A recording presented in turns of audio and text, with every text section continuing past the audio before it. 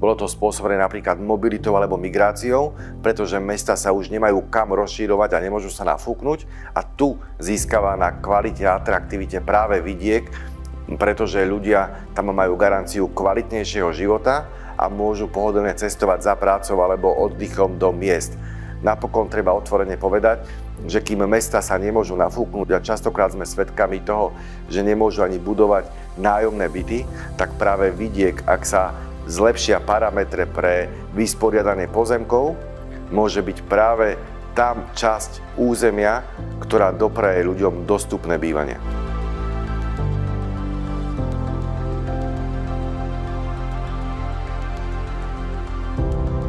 Stavebný zákon je z roku 1976.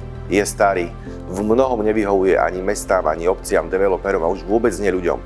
Teda cieľom je zmeniť tento stavebný zákon tak, aby ľudia pocitili výhody, aby nemuseli čakať 300 dní na papierovú vojnu, aby sme nemuseli tolerovať tých, ktorí si postavia čiernu stavbu, lebo vedia, že ju neskôr zlegalizujú, aby sme vedeli, že človek je ten, ktorý má povedať, koho chce mať v susedstve či priemyselnú zónu, detské ihrisko, nájomné byty alebo rodinné domy.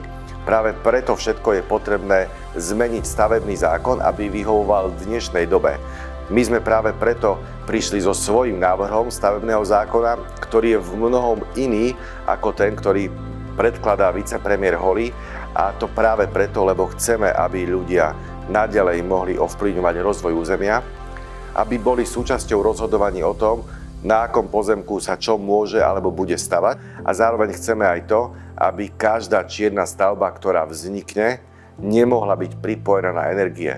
V opačnom prípade budeme svedkami toho, že každá čierna stavba bude najskôr mohylou pohordania susedmi a potom aj tak bude zlegalizovaná a ešte bude pripojená na vodu, kanál, plyn či elektrinu.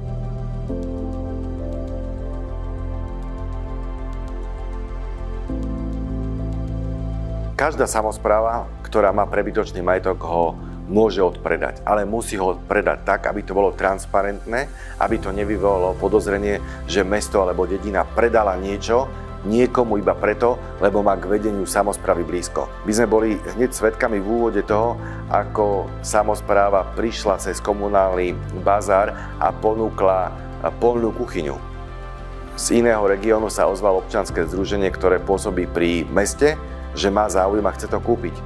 Ďalšie mesta považovali už za prebytočný majetok osobné auta alebo nákladiaky, ale iné samozpravy reagovali, že za túto cenu sa im to oplatí kúpiť. Dokonca by sme boli aj svedkami toho, ako sa u nás ponúkali kostolné lampy alebo dokonca aj stĺpy verejného osvetlenia. To znamená, že ak to už jedna samozpráva nepotrebuje, ale musí mať dôkaz o tom, že to odpredáva transparentne, tak práve cez komunálny bazár tento dôkaz získa a možno práve to, čo už niekto nepotrebuje, tak chýba tomu ďalšiemu.